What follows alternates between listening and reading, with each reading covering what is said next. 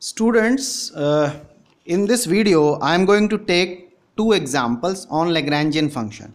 If you will see that in previous video, in previous lecture, we have taken uh, three examples. One of them is that where we are we have a cone and we have to find out the the the find the least distance between the point this 340 and the surface of the cone this. We have already taken this example.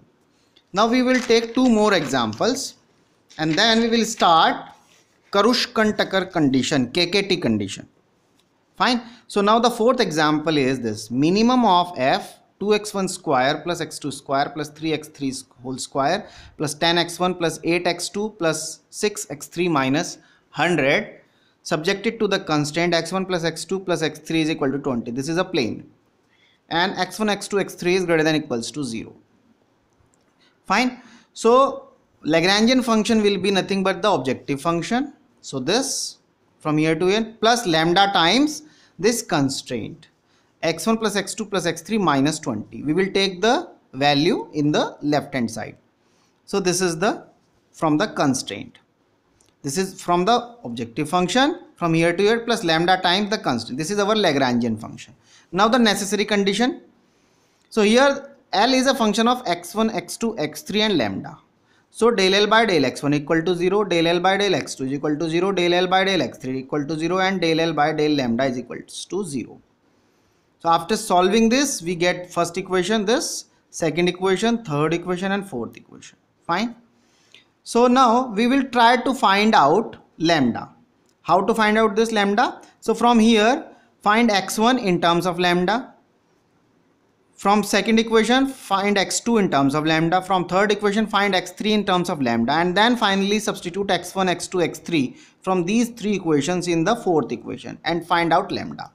So here is x1 in terms of lambda from first equation is this from second equation x2 is this in terms of lambda and from third x3 is this minus 6 plus lambda by 6 substitute x1 x2 x3 in equation number 4 which is x1 plus x2 plus x3 is equal to 20 substitute so we get this is equal to 20 after simplification lambda is minus 30 so what is the x star? X star is x1 x2 x3 which is 5 11 and 4 because minus 30 when we substitute it here you will get x1 minus 30 substituted here we get x2 and minus 30 substituted here we get x3 which is 5 11 and 4 respectively. So x star is basically 5 x1 x2 x3 and lambda is minus 30 now we will check the nature. To check the nature we will we, we will have sufficient condition. And that means we are having this bordered Hessian matrix. So del two L by del x one two del two L by del x one del x two del two L by del x one x three del L two L by del x one del x तो यहाँ हमने क्या किया?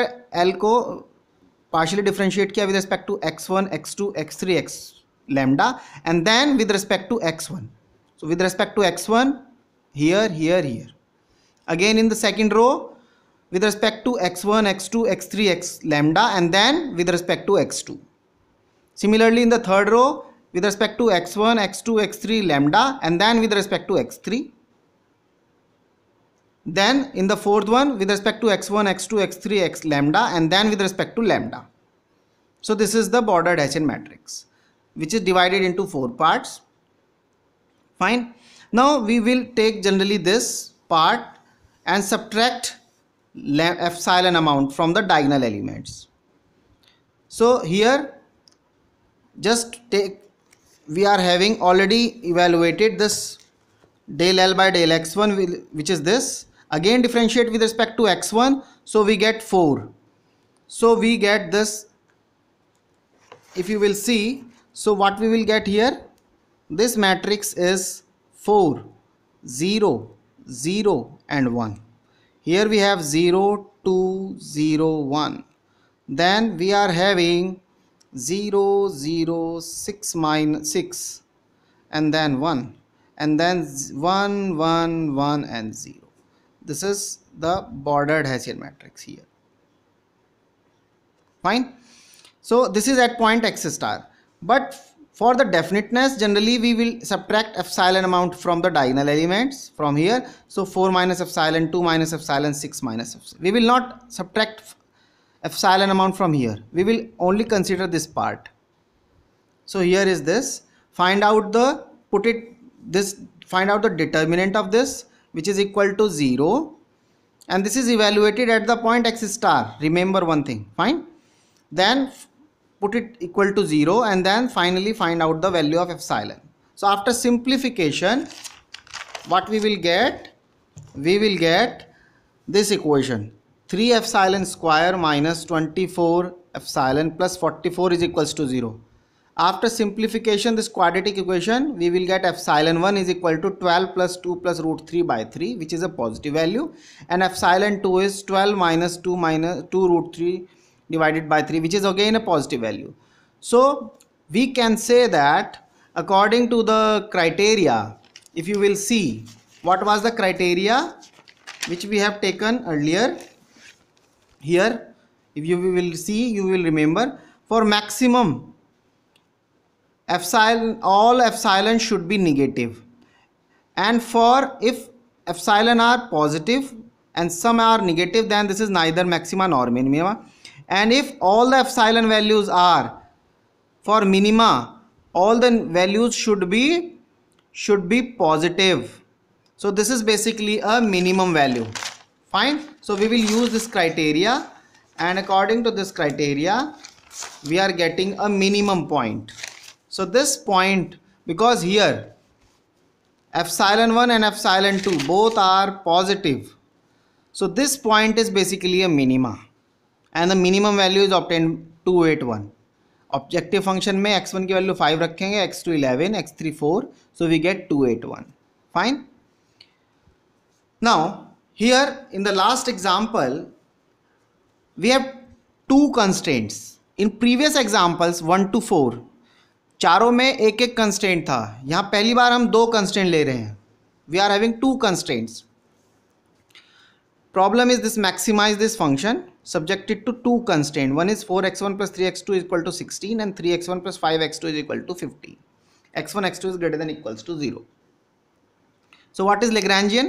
lagrangian is this objective function plus now lambda 1 and multiply by the first constraint 4x1 plus 3x2 minus 16 plus lambda 2 and the second constraint 3x1 plus 5x2 minus 15 fine? This is our Lagrangian function which is a function of x1 x2 lambda 1 and lambda 2 so now the necessary condition del L by del x1 equal to 0 del L by del x2 is equal to 0 del L by del lambda 1 equal to 0 and del L by del lambda 2 equal to 0 simplify these four equations we get this this this and this. These are four equations. Fine? So from first equation what is x1 in terms of lambda 1 and lambda 2 this. 4 lambda 1 plus 3 lambda 2 plus 6 divided by 2. Similarly from second equation x2 is equals to 3 lambda 1 plus 5 lambda 2 plus 8 divided by 2. Now substitute this x1 and x2 in equation number 3 and 4 and get lambda 1 and lambda 2. Fine. So after from third equation we get this equation in terms of lambda 1 and lambda 2 and from fourth equation we get this lambda 1 and lambda 2 equation. So we are having two equations in terms of lambda 1 and lambda 2. Solve these two equations. We get lambda 1 is equal to 212 divided by 121 and lambda 2 is minus 268 divided by 121. Now substitute this lambda 1 and lambda 2 and here and here and then find x1 and x2. What we will get? We will get x1 is equal to 35 by 11 and x2 is 12 by 11 so what is your x star? x star is x1, x2 which is 35 by 11 and 12 by 11 and lambda 1 is 212 divided by 121 and lambda 2 is minus 268 divided by 121. This is the point. Now the sufficient condition. So construct this border Hessian matrix. First differentiate L with respect to x1, x2, lambda 1, lambda 2 and then with respect to x1.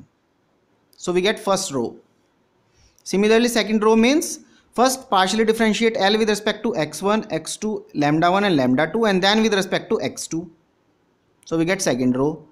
third row means first partially differentiate L with respect to x1 x2 lambda 1 lambda 2 and then with respect to lambda 1 and now the last row partially differentiate L with respect to x1 x2 lambda 1 and lambda 2 and then with respect to lambda 2 and then take this part केवल वही part लेंगे जिसमें x involve है बाकी नहीं, जिसमें से हम डायग्नली सब्टैक्ट करते हैं। Fine so now in this bordered Hessian matrix put x point x star lambda one is two one two divided one two one and lambda two is minus two x six eight divided by one two one substitute all these values and subtract epsilon an amount from here at the diagonal elements so we get this matrix now put it this is zero this is the determinant this is the matrix fine so this is 0 simplify this equation this determinant so what we will get we will get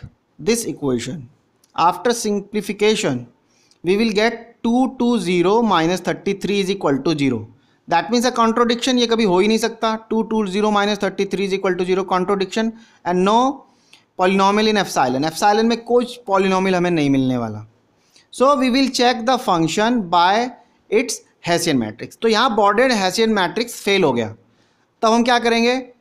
अगर bordered Hessian matrix fail हो जाता है तो अब हम इसका Hessian matrix check करेंगे सिर्फ़। Fine so Hessian matrix is this del two L by del x one two del two L by del x one del x two del two L by del x two x one and del two L by del x two two which is nothing but minus 2 zero 0 minus 2 this is at point x star. This is at the point x star. This. So, here minor test लगाया d1 one is minus two negative value d two is the determinant of two by two which is four so this is negative this is positive so f is basically a concave function because कैसा आएगा? Negative definite negative definite means function is concave and सिज function is of this form concave sorry function is of this form concave so point will be maxima this is x star so g one and g two are convex and equality because both are convex both are linear दोनों linear हैं तो convex है। Function हमारा concave है। That means x star is a maxima and maximum f is 16.5 point five fine so this is all about the Lagrangian function now here we have a note point the necessary condition also become sufficient for a maxima or minima of the objective function if the objective function is concave convex and the side constraints are equality ones fine अगर objective function concave या convex होगा कब convex कब होगा maxima के लिए convex concave होगा maxima के लिए कॉन्वेक्स होगा मिनिमा के लिए तो हमारी प्रॉब्लम थी maxima and here function is concave so that's why necessary condition become sufficient क्योंकि हमारे कंस्टेंट्स भी लीनियर थे इक्वालिटी वंस दैट्स वाई तो अब हम नेक्स्ट वीडियो में we will discuss about the KKT conditions so classical optimisation techniques for NLP with inequality अभी तक जितने एग्ज़ाम्पल मैंने लिए, सब इक्वालिटी जिनमें इक्वालिटी कंस्टेंट थे, अब हमारे इनइक्वालिटी आएगी inequality constants and for this we are having KKT condition तो क्लासिकल ऑप्टिमाइजेशन में दो टेक्निक्स हैं. One is when we are having equality constant उसके लिए लेग्रांजन फ़ंक्शन है। और जब इनइक्वालिटी कंस्टेंट आएँगे, तब हमारे पास के के टी कंडीशन हैं। ठीक? So this is the meaning so इसको हम डिस्कस करेंगे in the next video thank you